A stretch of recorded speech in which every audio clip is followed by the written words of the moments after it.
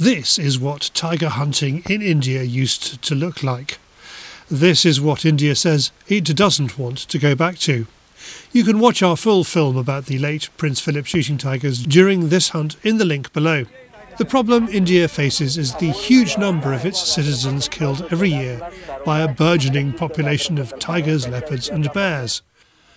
In May 2023, I met this lady who had just lost her husband to a tiger. We have the highest number of conflicts anywhere in the world you had the first hand experience of meeting someone very tragic, very, very tragic, who lost someone very dear to a conflict, to a tiger.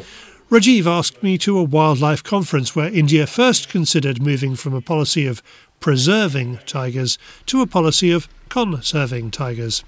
So, what's happened in India since then?